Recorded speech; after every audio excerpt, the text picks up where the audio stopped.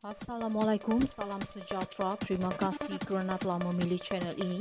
Jangan lupa tekan butang like, komen, subscribe dan share untuk Anak pemimpin GISBH antara lima ditahan di sempadan Malaysia, Thailand. Salam sejahtera, satu lagi perkembangan mengejutkan dalam kes GISBH. Anak kepada pemimpin GISBH bersama empat individu lain telah ditahan di sempadan Malaysia, Thailand ketika cuba meninggalkan negara.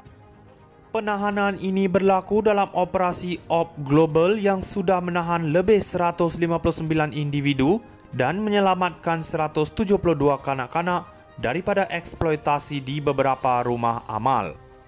Kes ini semakin meruncing dengan pendedahan bahawa kanak-kanak yang diselamatkan didapati mengalami penderaan fizikal dan emosi, buruh kanak-kanak dan kekurangan zat makanan.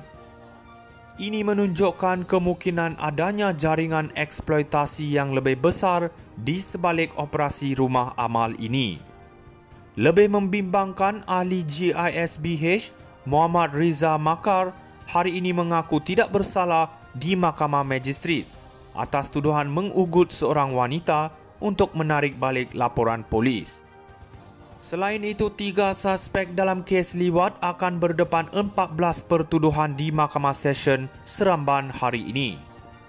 Apakah imej sebenar GISBH di sebalik semua ini? Kes ini bukan hanya membabitkan jenayah individu tetapi menyentuh soal amanah dan integriti dalam organisasi yang sepatutnya melindungi kanak-kanak. Adakah kebenaran akan terungkap sepenuhnya? rakyat pastinya menantikan tindakan tegas dan keadilan bagi semua mangsa. Anak pemimpin GISBH antara lima ditahan di sempadan Malaysia, Thailand. Salam sejahtera, satu lagi perkembangan mengejutkan dalam kes GISBH. Anak kepada pemimpin GISBH bersama empat individu lain telah ditahan di sempadan Malaysia, Thailand ketika cuba meninggalkan negara. Penahanan ini berlaku dalam operasi OP Global yang sudah menahan lebih 159 individu dan menyelamatkan 172 kanak-kanak daripada eksploitasi di beberapa rumah amal. Kes ini semakin meruncing dengan pendedahan bahawa kanak-kanak yang diselamatkan didapati mengalami penderaan fizikal dan emosi, buruh kanak-kanak dan kekurangan zat makanan. Ini menunjukkan kemungkinan adanya jaringan eksploitasi yang lebih besar di sebalik operasi rumah amal ini. Lebih membimbangkan ahli GISBH Muhammad Riza Makar hari ini mengaku tidak bersalah di Mahkamah Magistrat atas tuduhan mengugut seorang wanita untuk menarik balik laporan polis. Selain itu, tiga suspek dalam kes liwat akan berdepan 14 pertuduhan di Mahkamah Session Seramban hari ini. Apakah imej sebenar GISBH di sebalik semua ini? Kes ini bukan hanya membabitkan jenayah individu tetapi menyentuh soal amanah dan integriti dalam organisasi yang sepatutnya melindungi kanak-kanak. Adakah kebenaran akan terungkap sepenuhnya? Rakyat pastinya menantikan tindakan tegas dan keadilan bagi semua mangsa.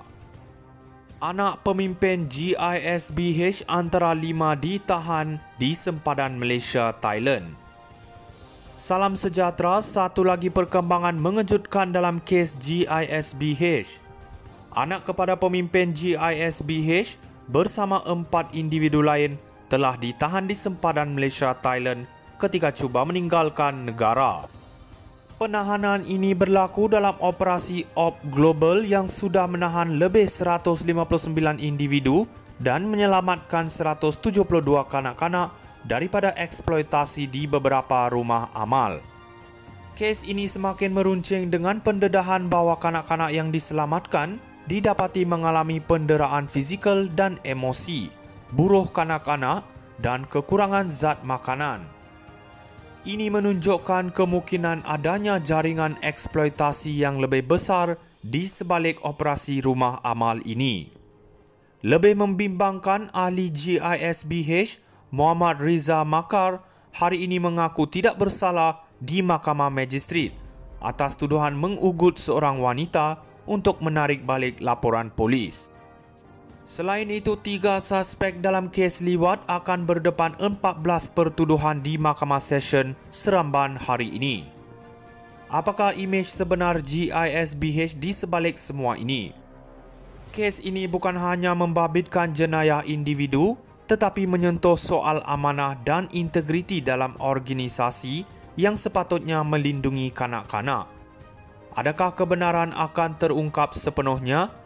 Rakyat pastinya menantikan tindakan tegas dan keadilan bagi semua mangsa.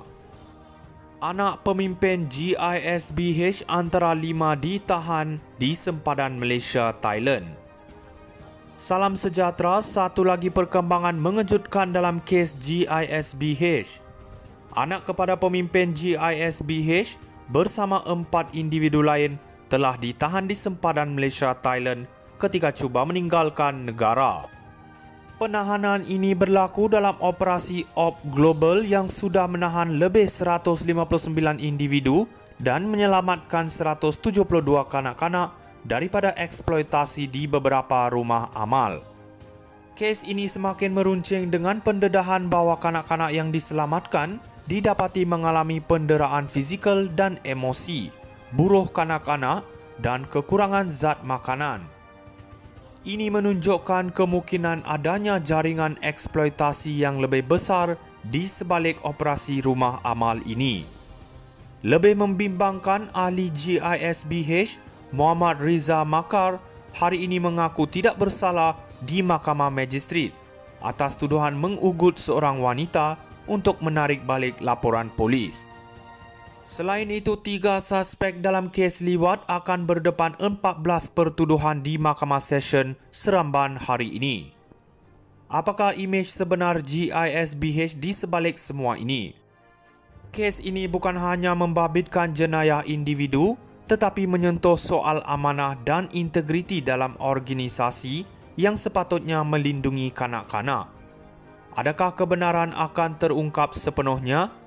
Rakyat pastinya menantikan tindakan tegas dan keadilan bagi semua mangsa. Anak pemimpin GISBH antara lima ditahan di sempadan Malaysia, Thailand. Salam sejahtera, satu lagi perkembangan mengejutkan dalam kes GISBH.